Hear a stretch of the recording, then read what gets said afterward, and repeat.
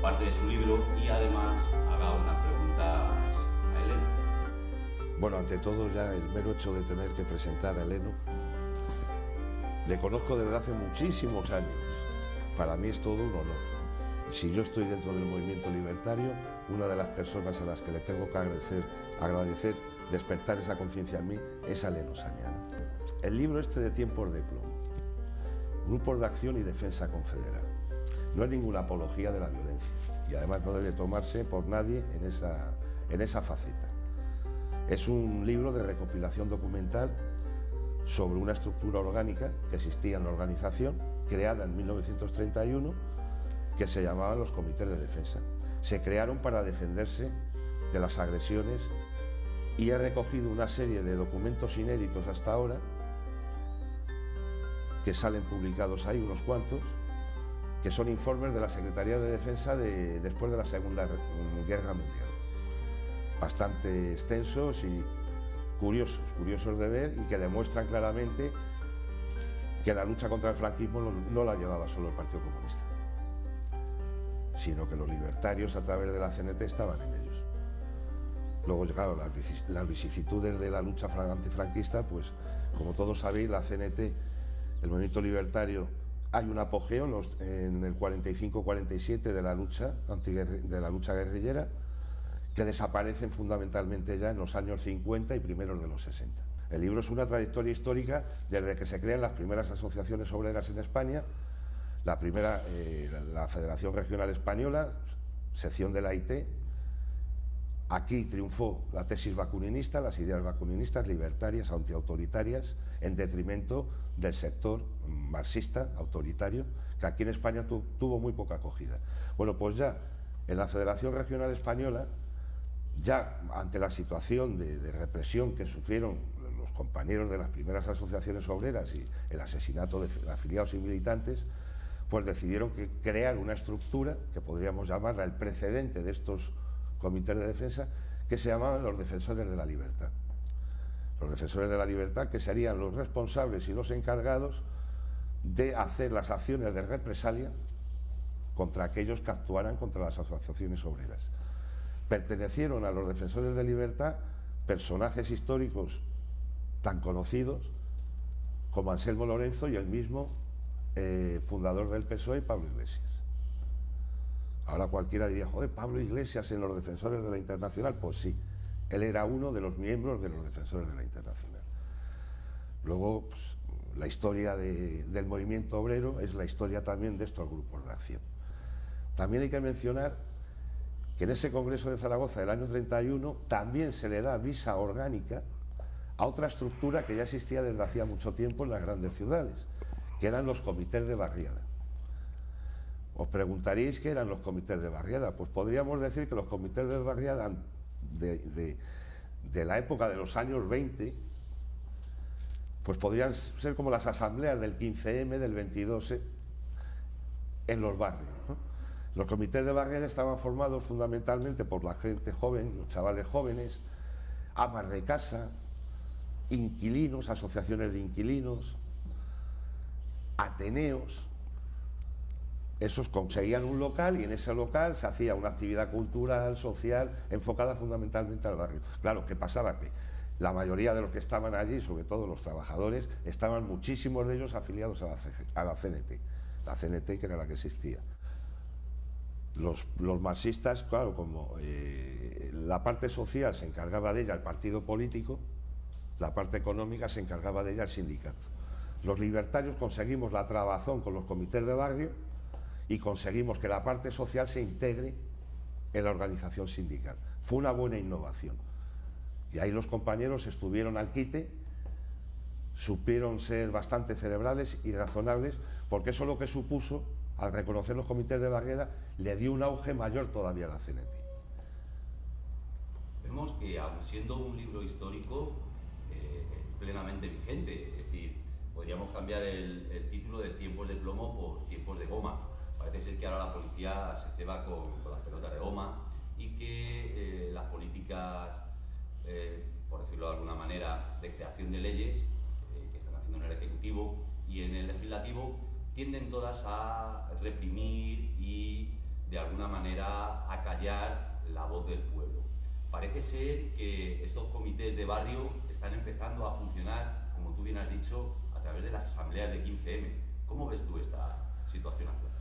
Mira, en, la charla, en la charla de la presentación de los libros, ha hablado un compañero que sé que pertenece a, la asamblea de Vallecas y ha hablado y ha dicho que, uno, de los, uno de los déficits y de los hándicaps que él está encontrando en todo este tema del movimiento este vecinal, de, asambleas de barrio, es que hay una falta total de organización.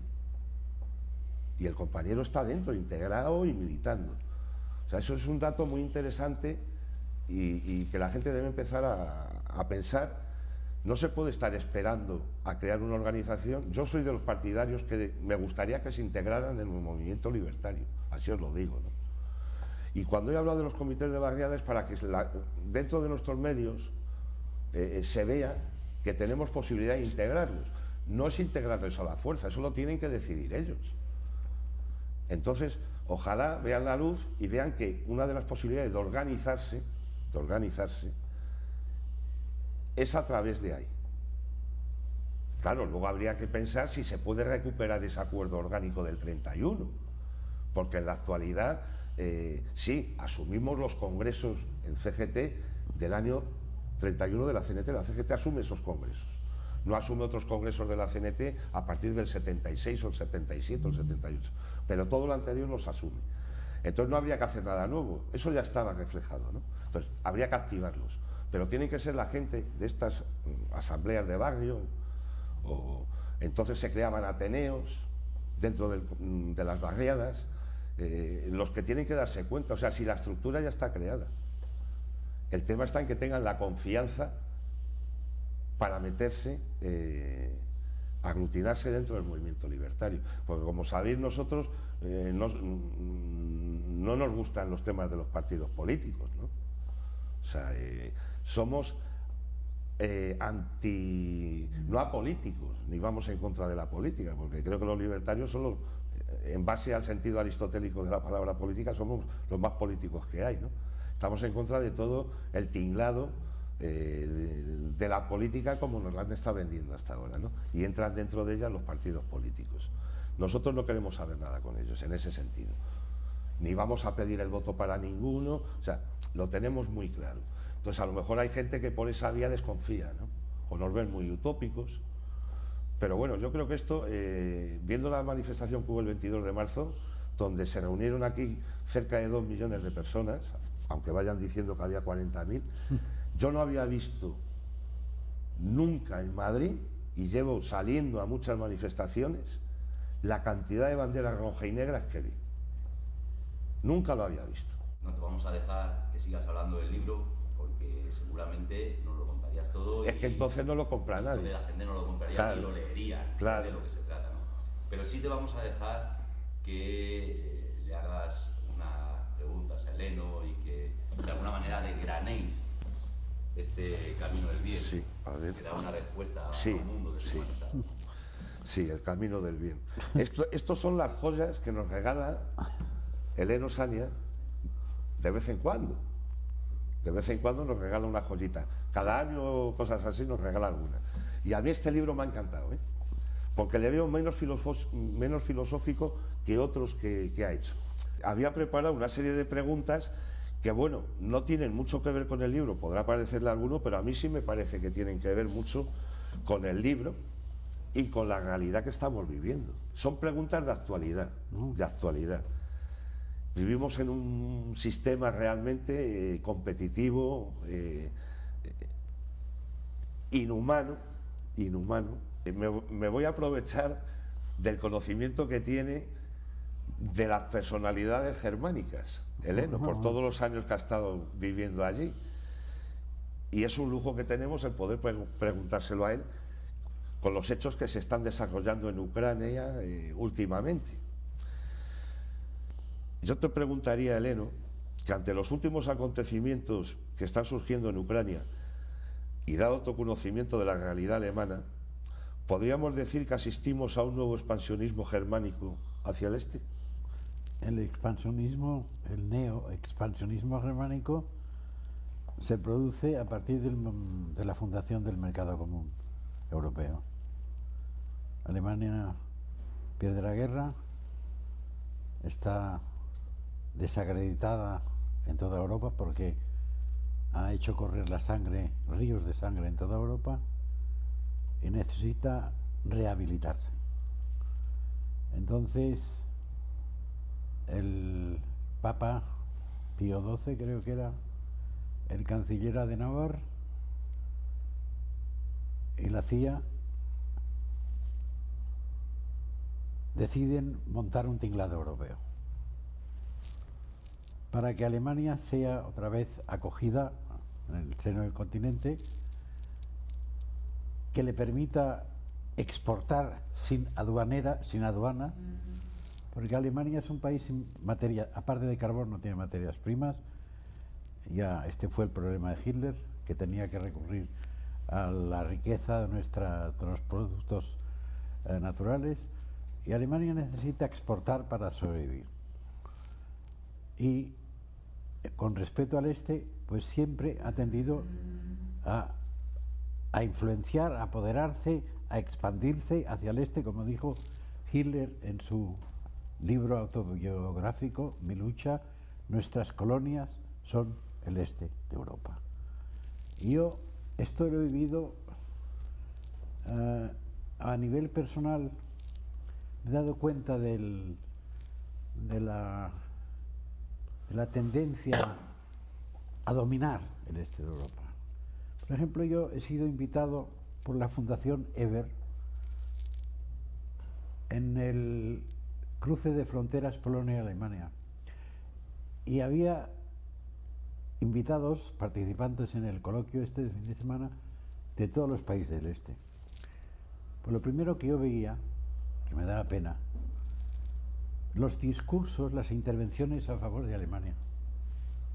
Países que habían sido jodidos, acribillados, asesinados, por ejemplo Yugoslavia. Yugoslavia en la fila de Polonia, Polonia y todos. Pues nada, a, lamer el culo a los alemanes, para decirlo un poco.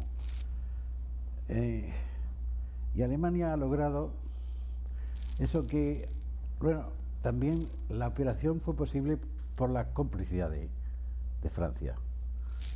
De Gaulle, al principio, quería ser el, el, eje de Europa, sin Alemania, someterla. Pero se dio cuenta que era una ilusión, porque Alemania es potente por sus habitantes, por su potencial técnico y su densidad demográfica.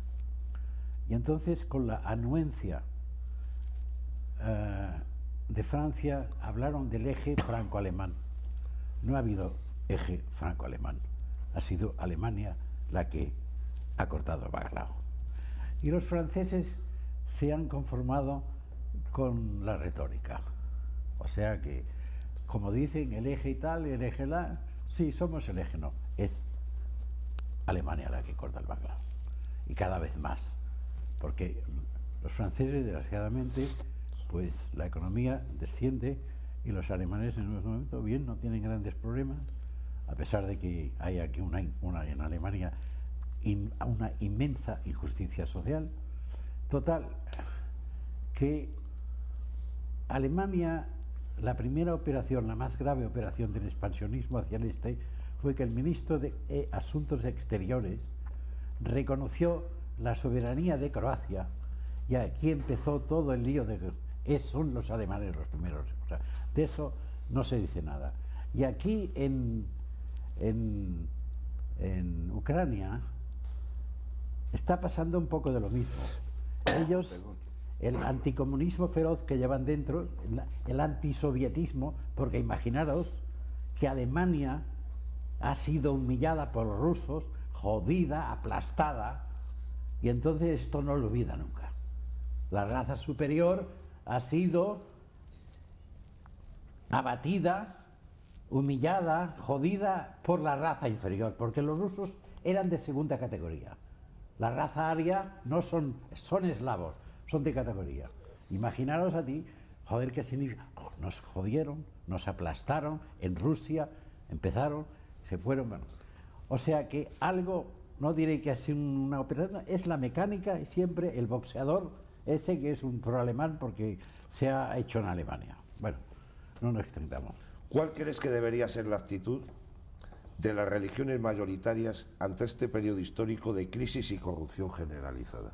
Bueno, parece ser que, que el Papa este, por la, impresión que tengo de los primeros medios de papado, pues es un tío que me gusta, porque dice cosas que no ha dicho otro Papa. El otro Papa, el, el alemán, el Ratzinger, fue el que representaba el, en, en, Roma el Santo Oficio, que tiene eso, tiene otro nombre de la congregación de la fe, es el Santo Oficio.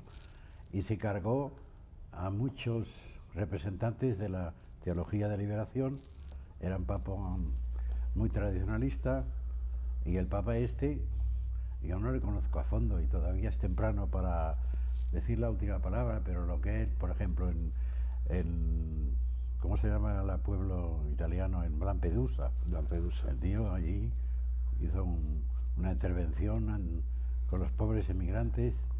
Joder, me emociono. O sea que está, ahora bien, aquí tenemos el roco. O sea, hay una iglesia toda, todavía muy, muy clerical en el sentido negativo de la palabra. Hay de todo, como en todas partes. Yo tengo un amigo teólogo que estuve el, otro día, que está ahora en Salamanca, que espero verle mañana, que está, no digo su nombre, por si no quiere, pues este es un teólogo que es más crítico que yo a la hora de criticar todas las mafias teológicas de Roma y todo lo que O sea que la iglesia, la iglesia desde luego va descendiendo, hay una minoría de gente en Alemania, más que aquí todavía, las, iglesias están vacías. Eh, hay dos días de misa a la semana y a veces yo paso por allí y está abierta en verano la iglesia y veo a 12 personas. ¿Crees que el modelo económico social capitalista ha entrado en una caída en picado?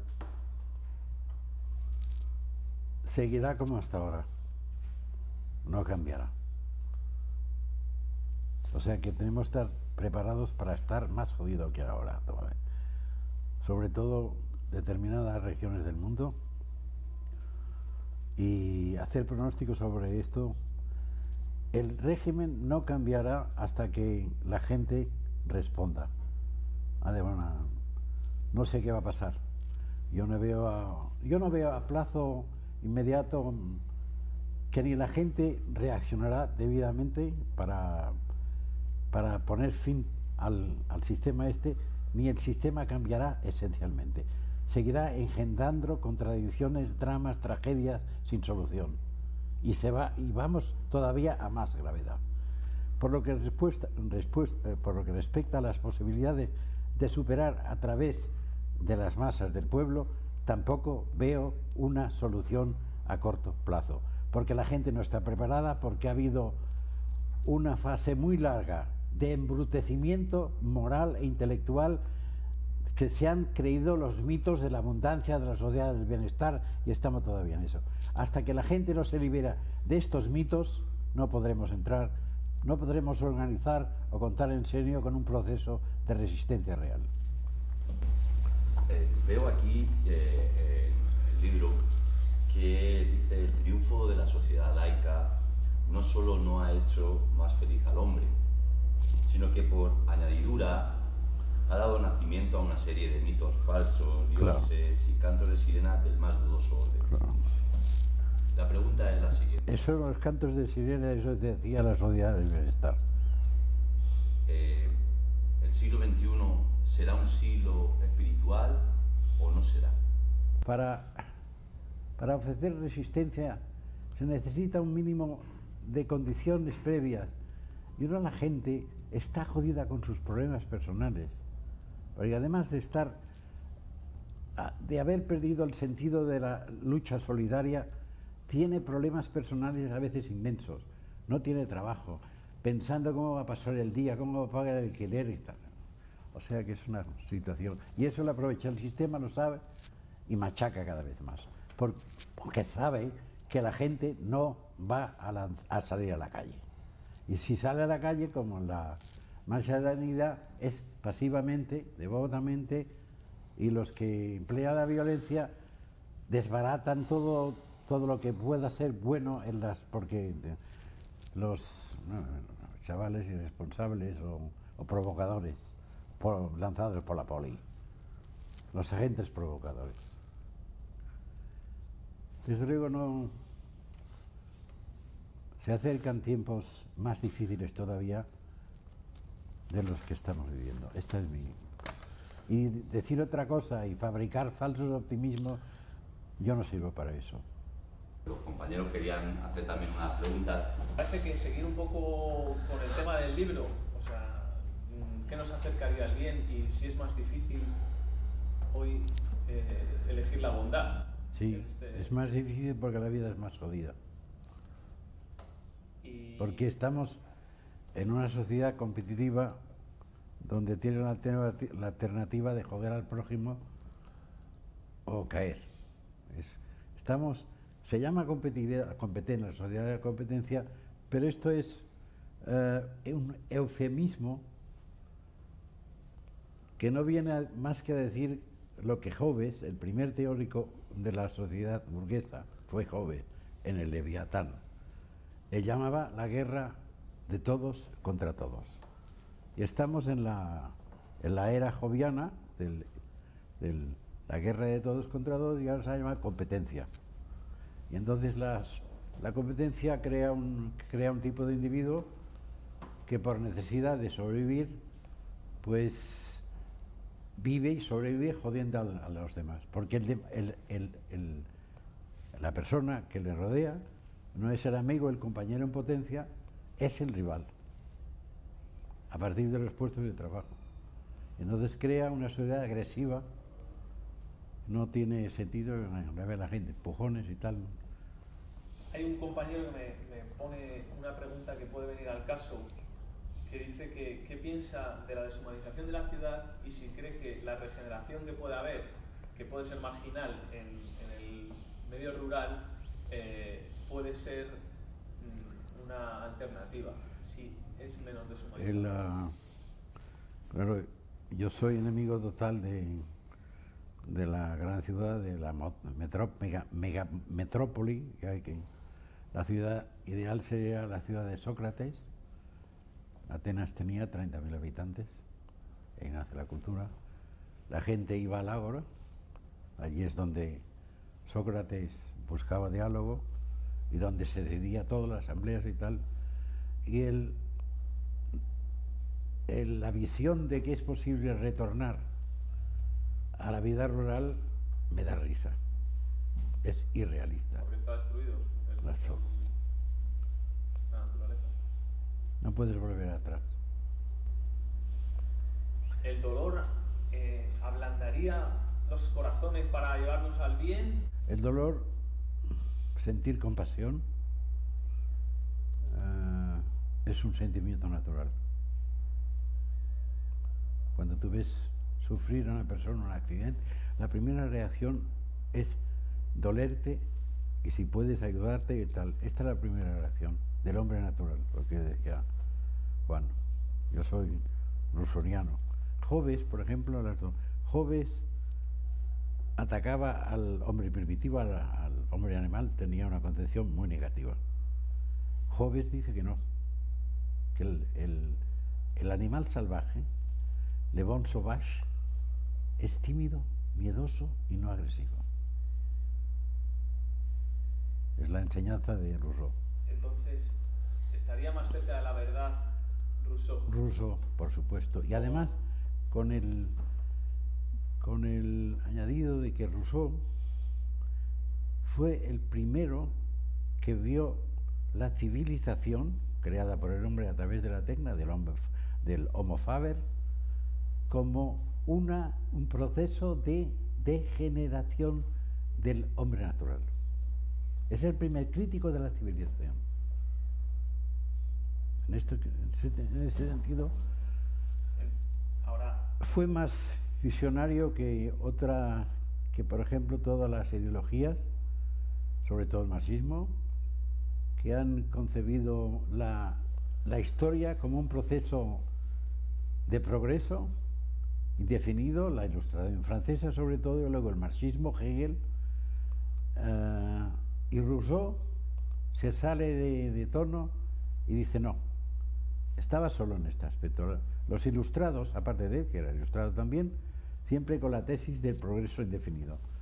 Tesis que asume sobre todo el idealismo alemán, Hegel concre- concretamente, y Marx, que era anti-idealista, era materialista la concepción, pero asume todas las tesis eh, fundamentales y cree que la historia por sí misma nos llevará al paraíso. Ya, lo ves como... O sea que el marxismo eh, no ha cometido solamente el error de convertir el marxismo en una tiranía terrible, el estalinismo, sino que el propio Marx, es decir, la historia ha demostrado que toda su teoría es una superchería. Nada más. La referencia entonces está en Rousseau más sus referentes. Por un lado, en estilo, porque como hablaban, yo utilizo eh, el Historia del Pensamiento Universal como manual.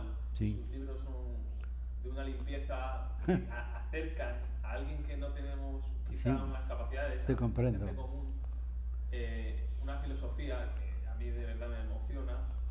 Y entonces, ¿quiénes son sus referentes en, en- en ese estilo y además en el fondo? Que veo que Rousseau puede ser uno de ellos. Sí, es bueno, es, es, es, es enriquecedor a Rousseau. Sobre todo te- os recomiendo a Camille. No sé, supongo que el libro suyo, el, el- el libro fundamental para orientarse ideológicamente es el, eh, el hombre rebelde, el hombre revolté. Este es el libro fundamental. Es mi hombre. Es la persona con la que me siento más identificado. Y luego, aparte de este, tiene libros ya más de ficción, de literatura ficticia, que es La peste, sobre todo. Porque aquí, en La peste, precisamente, está el problema del bien y del mal. ¿eh? Y hay un libro autobiográfico, este ya tiene menos importancia en el plano de las ideas, que es La Chute, la caída. Es muy bello. Eh, ¿Ha vivido con nostalgia esos años, eh, con cierta nostalgia la lejanía de, de Madrid? Siempre, siempre he tenido nostalgia de Madrid. Siempre. Y la tendré hasta el fin de mes día. Soy muy español. Y esta nostalgia y este amor a España me ha permitido, en gran parte, dos cosas.